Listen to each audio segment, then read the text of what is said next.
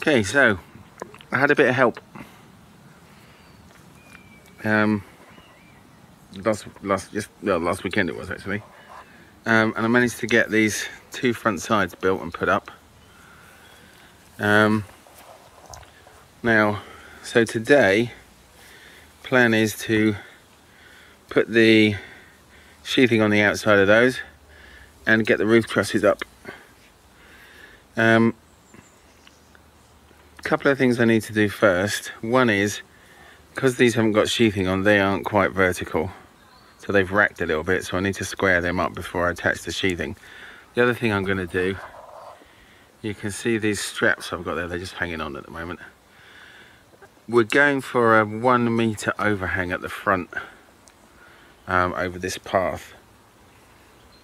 So uh, that's quite a big, quite a big overhang, and I'm a bit nervous that it might catch the wind. So I've got these straps to tie these um, vertical studs down onto the base, and then likewise onto the top. And uh, the um, what's the word? Uh, the roof then will tie underneath those, and then that'll be the, the roof will be tied on there as well. So the whole lot will be locked in together right the way up and down, so there shouldn't be any chance of it lifting. So that's the plan. Right, so I need to get these two walls vertical. And you can see the steel is nice and snug at that end. But the same cannot be said of this end. And you can see that if I put this, the what's it, the uh, level on the walls, so they aren't level. So the uh, I'm going to use these ratchet straps to pull the two sides in. Where are we? Pull the two sides in, one from each side, to close up that gap, and then I can get them vertical.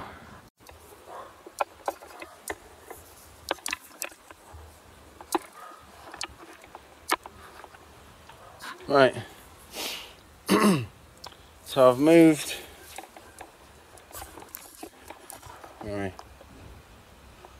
I've moved the supports round to the front because I'm going to be working on the back side of those beams. First thing to do is get that attached, get that beam attached to uh, those sides. So I've got some Tek screws, which I've left somewhere. Um, some Tek screws which I'm going to screw into the underside and bolt that to the top of it. And here's a crazy thing. I got these from Screwfix. Yeah. And the and oh, I actually wanted. I didn't. I don't need 85 mil. Um, 60 would have been fine. Able to go through that 30 mil of wood, it only needs to go another five mil, six mil through the through the beam. Um, but the cheapest ones were 85. So I don't mind there's a bit extra sticking through, but 85.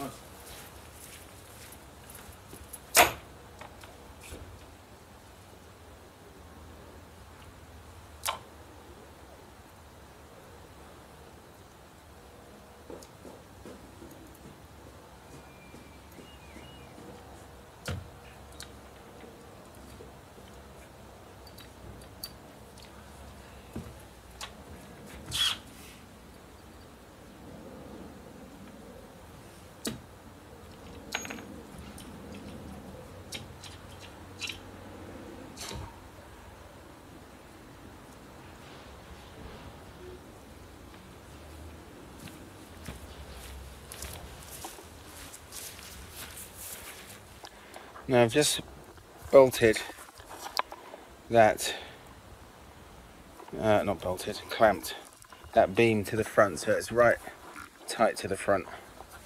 I'm just going to drill that and screw that in.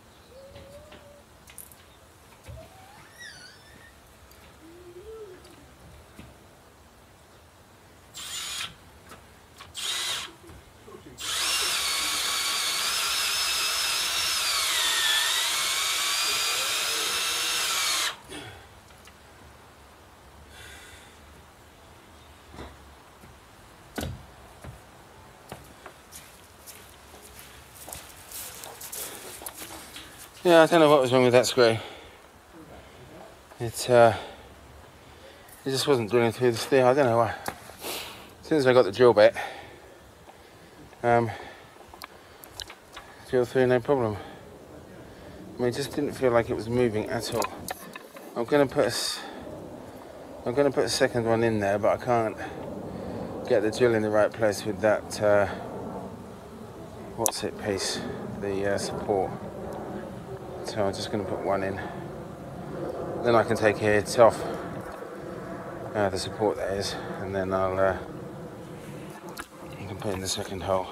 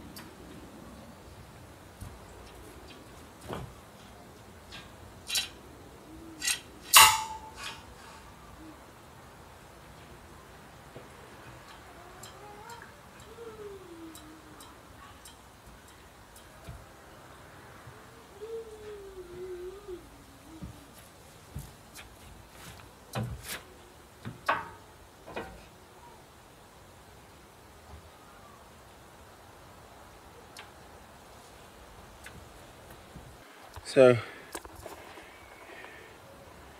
the uh, that wall is not quite vertical. It's vertical uh, along the front, but it's tilting. It's tilting backwards a bit. I'm going to put this on.